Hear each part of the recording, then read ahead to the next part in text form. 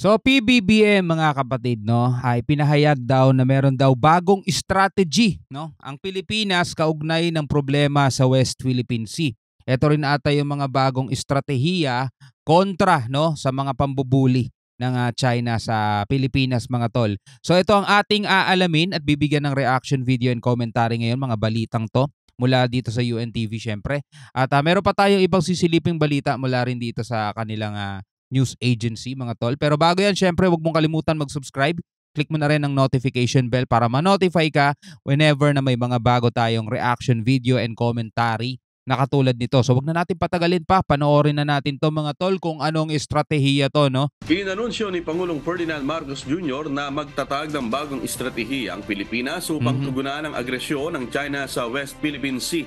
Ayon sa Pangulo sa kabila ng mga diplomatic efforts, tila hindi sapat ang progreso na nakakamta ng bansa upang maibsan ang tensyon sa West Philippine Sea kaya kailangan gumawa ng mga hakbang na hindi pa dati naisip. Itutulak din ng Pilipinas ang pagpapatupad ng mga Alam niyo mga tol, strategy, no? Kung ang usapang strategy ko para kontra doon sa mga pambubulas ng China na hindi pa daw naiisip dati. Alam naman natin hindi nila maiisip kahit kailan yung uh, pumalag. wag na nating wag na nating isingit pa 'yon, no? Kasi hindi talaga papalag ang Pilipinas, lalong-lalo na mahina naman talaga tayo, mga tol. Masakit man isipin pero nandirito tayo sa isang bansa na hindi kayang panindigan maigi yung ating uh, claim. Unlike doon sa mas mga maliliit pang bansa sa atin na uh, dahil hindi ganun kalaki ang korupsyon sa kanilang bansa, eh nagagawa nila talagang pataasin yung kapabilidad ng kanilang mga sundalo. So tanggapin na lang natin mga tol, nandirito tayo sa Pilipinas eh. Alright, so anong strategy ang uh, ating gagawin? Balik na lang ulit tayo no, doon sa panahon ni PRRD. Tahimik lang tayo. Wala na tayo mga isyong naririnig dyan mga tol. Best friend na lang ulit natin ng China mga tol. 'Di ba? So mawawala talaga aggression dyan. No, sa palagay ko, yun na lang ang kailangan nilang gawin eh. Kasi dalawa lang naman yan eh. It's either pumalag ka o ibigay mo yung gusto nila o manahimik ka na lang, di ba? Di ba? Ganun na lang naman talaga yun eh. So ikaw, bilang isang Pilipino mga tol, ano may ano masasabi mo? May may isip ka pa bang strategy kontra sa mga pambubulas ng China? Eh kapag pumalag naman dyan, sasabihin nila tataas lalo tensyon. Kapag di ka naman pumalag dyan at ipagpatuloy mo lang yung mission mo, ganun pa rin naman, bubulasin ka pa rin naman nila, di ba? So ano pang strategy may isip natin dyan, di ba? Gamitin na lang natin mga eroplano pagdadala ng mission, di ba? E papaulanan ka naman ng flare, di ba? Ganun nga yung ginagawa nila sa mga ano natin, aircraft natin eh, di ba? So wala talaga eh bagong hakbang para mapanatili ang soberanya nito at mapanagot ang agresyon ng China sa nasabing teritoryo. Mm-hmm. Inaasahan na magdadala ito ng mas mataas na antas ng seguridad at kapayapaan sa rehiyon. Dagdag pa niya patuloy na makikipag-ugnayan o makikipagtulungan ng Pilipinas sa mga kaalyadong bansa sa Indo-Pacific region at iba pang rehiyon kung kinakailangan para sa kolektibong kapakanan at interes ng mga kasapi. Napag-alaman kamakailan ang sunod-sunod na agresibong hakbang ng China sa West Philippine Sea. Alam niyo mga tol, no, hindi lang Pilipinas ang apektado doon sa 10-dash line ng uh, China. Hindi lang Pilipinas ang apektado diyan, maraming mga bansa ang apektado diyan. 'Di ba? Alam naman natin mga tol sa buong Indo-Pacific o so, doon sa buong South China Sea, doon sa 10 dash line ng China, ang dami nilang sinakop na mga karagatan. Kalaban din nila diyan yung Vietnam, Indonesia at yung iba pang mga bansa mga tol, no? Pero bukod tanging sa Pilipinas lang nila nagagawa itong mga ginagawa nila. Yung ibang bansa mga tol pumapalag eh. Ultimo Taiwan na napakaliit, parang mas malaki pa ata ang Luzon, 'di ba? Doon sa Taiwan, napakaliit nun. Pero pumapalag yun mga tol. 'Di ba? Kapag papasok ang China dito sa karagatan ng Japan, pumapalag din ng Japan mga tol. 'Di ba? Pagpapasok sila sa Indonesia, pumapalag din, sa Vietnam pumapalag din. Tayo mga tol, tayo matol, nakakatawa man isipin pero talagang maiinis ka na lang. Hindi mo alam kung ano eh, kailangan mo pa rin panigan ng bansa mo kahit na ganyan eh, 'di ba? Mga nagsasabing eh mahina nga kasi bansa natin, ikaw pala matapang, ikaw na lang pumunta siya. Alam mo, nagre-react na tayo sa ginagawa ng gobyerno natin mga tol eh. Anong gusto mong gawin? 'Di ba? Balik na lang ulit tayo doon para wala nang usapin, 'di ba? Balik na lang ulit tayo doon sa sa ano natin, doon sa status natin nung mga panahon pa ni PRRD. Wala ka naman nababalitaan ganito, 'di ba? Payapa naman tayo, 'di ba? tahimik naman tayo. May nabalitaan ka ba nung panahon ni PRRD, anim na taon, na habang nagre-resupply mission doon sa BRP Sierra Madre, ay may hinarang ang uh, China? Meron silang binangga o meron silang binomba ng water cannon? May nabalitaan ba tayong ganun? Wala mga tol. Yun naman pala eh, pwede naman pala nating gawing mapayapa, balik na lang ulit tayo doon. 'Di ba? Yun nga lang, alam niyo na kung ano maisasakripisyo natin diyan. Tulad ng paggamit ng water cannons laban sa mga sasakyang pandagat ng Pilipinas na nasa rotation at resupply mission sa BRP Sierra Madre mm-hmm. sa Ayungin Shoal. 'Di ba? So yung mga ganyan mga tol, yun na lang yung strategy na pwedeng gawin ng ating gobyerno. Total. Total eh wala din naman eh, 'di ba? Patadagdag tayo ng mga bagong assets natin, hindi naman natin magamit. Dadag bibili tayo ng mga bagong barko natin, hindi rin naman natin magamit. Ang igagamitin natin sa resupply, mga maliliit na barko lang.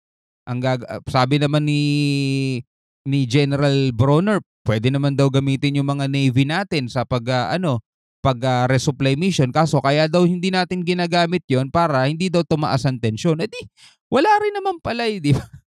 Wala rin naman pala eh. So, lipat tayo ng balita mga tol. So, eto. Ah, uh, mula sa UNTV pa rin, no? Pro-China in stance of some Filipinos may be part of a dis, uh, destabilization plan, sabi ni Senator Ejercito. So panoorin natin to mga tol at bigyan din naman natin to ng reaction. Senator J.V. Ejercito expressed dismay on fellow Filipinos who have pro-China stance. Talaga? He said they seem to support Beijing on the issue of maritime dispute in the West Philippine Sea. He believes this may be used as destabilization efforts against the administration of President Ferdinand Bongbong Marcos Jr. Mm-hmm. The sad thing about it is that this might be part of a destabilization plan. No? Uh, hindi po malayo because we have that conflict in West Philippine Sea. So para po mawala yung attention doon, guguluhin tayo dito internally, mag-aaway-away tayo. Apart from other... Pwede rin yung sinasabi niya eh, no? Yung mga pro-China na Pilipino, mga tol. Kasi syempre, ang gusto ng gobyerno natin, sa maayos na pamamaraan, 'di ba? Ayaw nga nating gumante mga tol. Sabi nga ng AFP natin, hindi tayo gagante, 'di ba? So maayos na paraan. Gusto lang natin talaga makipag-usap pero walang papakawalang mga isla. Pero wala naman din tayo napapala sa ganun mga tol eh. Habang ito mga pro-China na patuloy na kinakampihan pa nila, syempre yung ginagawa ng kanilang bansa, di naman mga Pinoy kasi yung mga yun eh. Di ba yung mga Filipinos, nagkakaroon ngayon ng hati na opinion yung sambayan ng Pilipino. Merong uh, pro-China, merong uh, pro-Filipino na gusto naman ng mga taga-US, di ba? So yun nga no, sabi ni Senator JB eh parang nagkakagulo nga naman talaga ang Pilipinas, 'di ba? At gustong-gustong mangyari ng China 'yon. Meron silang uh, tinatawag ng Saiwar nila, 'di ba? Guluhin nila yung pagkakaisa nyo at alam nyo naman ang isang bansang hindi nagkakaisa, mahina pa sa mahina 'yan. All right? Officials of the government, the senator also receives attacks on social media from vloggers and trolls because of his position on the West Philippine Sea issue. Mm-hmm. He calls on fellow Filipinos to stand together against China's aggression on our rights to territory and sovereignty yeah. instead of fighting among ourselves. Meanwhile, he also stated that the country will find it difficult to attract investors if political instability is already present. Additionally, amidst the multiple issues we are facing, politics should be set aside, especially now amid the significant challenge of China's aggression in the West Philippine Sea. I'm calling for a ceasefire muna on hostilities on the different political um, uh, groups and let us work together. No? Kasi ang dami talagang problema. It, it will be difficult uh, for us to be able to uh, surpass all of these challenges. Kung ganito kaaga pa lang, nagbabakbaka na tayo. Tama, 'di ba? Nawala na nga yung unity mga tol eh. Dati magkasama yan sa rally, mga loyalist at saka pro Duterte, mga DDS at loyalist. Magkasama dati sa rally yan. Ngayon nagbabakbaka na rin sila mga tol. 'Di ba? Kasi andito yung magpinsan eh. President at Speaker. Laban naman etong kongreso na parang inigipit ang mga Duterte na kinakampihan din syempre ng mga DDS. 'Di ba? So nagkakaroon ng pag-aaway-away mga tol. Isa pa, 'di ba? PBBM 'di ba, pumapalag siya sa China kahit papaano, 'di ba, nagsasalita siya kontra sa China. Habang ang mga nandirito naman sa kabila eh syempre, alam niyo na Duterte, mga tol, hati na rin ang pananaw ngayon. May mga pro-China at may mga, hindi naman sa sinasabi nating pro-China, pero hindi sila anti-China at hindi nila masyadong pinag-uusapan mga tol yung uh, nangyayari ngayon dito sa West Philippine Sea. Para sa kanila, okay pa nga yung pagpasok ng China eh. Katulad kanina yung uh, sinasabi natin, gusto na pa pala natin ng kapayapaan dito sa West Philippine Sea. Balik na lang ulit tayo sa status natin dati no panahon ni PRRD mga tol. Wala tayong nababalita ang mga ganyan. 'Di ba? Hindi tayo naiinis. 'Di ba? So, ikaw bilang isang Pilipino, ano masasabi mo diyan? Comment ka sa baba. He mentioned that the political strife could also be related to the 2028 elections. Mm-hmm. So it's too early. Again, ang hirap talagang magtrabaho pag uh, pumapasok yung political bickerings. Rosalie Coz, UNTV News. Napakaraming problema mga tol sa Pilipinas, no? Napakaraming korupsyon mula sa mga matataas, mula hanggang sa pinakababa. Napakaraming korupsyon, napakarami talagang dahilan kung bakit minsan ayaw pumasok ng mga investor sa atin, ayaw pumasok ng mga banyaga sa atin mga tol. Ito may nakita akong balita ah. panoorin natin to mga tol. Isa to sa mga sumisira ng imahe ng Pilipinas mga tol. So ito yung taxi sa NAIA mga tol. Siyempre NAIA airport yan, international airport. Diyan pumapasok yung iba't ibang mga banyaga mula sa iba't ibang mga bansa. Ayan o, oh. taxi sa NAIA na higit 10,000 daw umano ang siningil sa pasahero. Iniimbestiga ng LTFRB. Biro mo, lilipat lang ng ibang terminal. Ah. Nasa 10,000 plus ang sinisingil. Grabe no. Panoorin natin to mga tol. JP, ano na ang update sa ginagawang investigasyon ng LTFRB dito sa airport meter taxi na napakataas ng singil? Ella, sa ngayon nagsasagawa ng validation ang Land Transportation Franchising and Regulatory Board o LTFRB dun sa authenticity ng video na naipost ng netizen. Kaugnay nga ito sa isang post ng netizen kung saan ipinapakita ng isang taxi driver ang umano'y airport meter rate sa isang turista at kasama nito. Grabe. Bakit sa post nangyari umano ito sa Ninoy Aquino International Airport. Mayroon pa umanong gwardya sa airport ang nagturo sa kanila na doon sumakay sa taxi dahil wala ng shuttle bus. Kasabwat na rin. No? Kaya ito mga tol, ha, pag ako pupunta ng airport, hindi ako sumasakay ng taxi. Pasensya na sa mga taxi driver, hindi naman sa lahat ha. Pero marami din kasi silang kasamahan talaga mga tol na yun ang sumisira sa kanilang ano eh, industriya, 'di ba? Kaya eto nang pumasok na yung mga Grab, 'di ba? Uber, eh, wala nang Uber ngayon eh, Grab na lang eh. Grab na lang talaga kasi at least doon pag uh, pag nag-book ka, may kita mo na agad kung magkano yung presyo. Nasa sayo na lang kung bibigyan mo ng tip yung driver o hindi. Pero nasa sayo din kung i-accept mo o hindi. Kung namamahalan ka, edi wag mo i-accept, di ba? Pero eh, hindi ka naman sisingilin ng 10,000. 'Di ba? Hindi ka naman tipong biglang may sasakay na ibang tao tapos aabutan ka ng parang menu o eto, eto ang mga rate namin, 'di ba?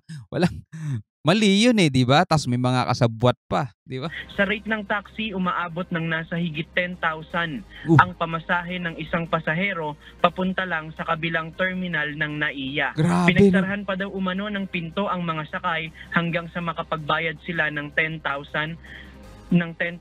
Pero ayon sa LTFRB, hindi nila palalagpasin ang insidenteng ito at maaaring mapanagot ang operator at driver ng naturang taxi at nagbayad na lang o nagbayad na lang ng 5,000 piso yung uh, mga sakay na nandun sa post ng netizen. Sa ngayon, Grabe. kinukuhanan pa lang rin natin ng komento ang management ng NAIA ukol dito sa post na ito ng isang netizen. 'Di ba? Napakarami ang problema mga tol dito sa ating bansa.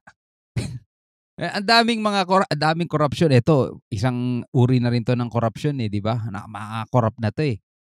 Ay nako, matagal na tayo nakakanood ng mga balita about dito sa mga taximeter rate na umaabot ng masyadong malaki mula sa mula sa uh, NAIA hanggang sa iba't ibang mga lugar na gustong puntahan ng mga sakay. Pag nakita nilang ito, mukhang ano to, imported tong sasakay sa atin ah ganyan ang gagawin mga tol. Hindi, hindi na sila nadala-dala, di ba?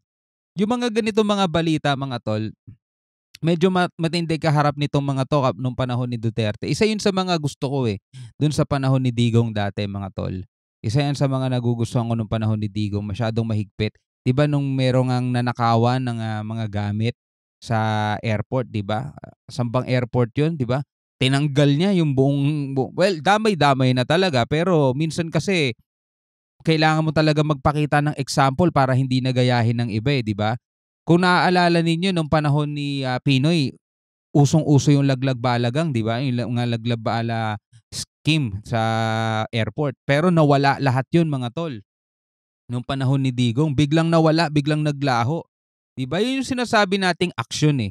So yung mga problema natin, halimbawa, strategy dito sa sa uh, West Philippine Sea, kung di naman natin kayang panindigan yung mga strategy ganyan, nagsasayang lang tayo ng oras at panahon dyan. Balik na lang ulit tayo nung panahon ni Digong na tahimik lang. Ganun na lang din gawin ni PBBM. Total, di naman tayo pumapalag din eh. Minobomba tayo ng water cannon, wala naman tayong say eh. Puro lang tayo report, puro lang tayo ganun eh. Puro ganun na lang din. Nung tahimik na lang din tayo, baka umayos pa yung ekonomiya ata. ata eh, no? Hindi tayo sure. Alright, so ikaw bilang isang Pilipino, ano masasabi mo? Comment ka na lang sa baba. Hanggang sa muli, ako nga pala si Shobal D. Peace out.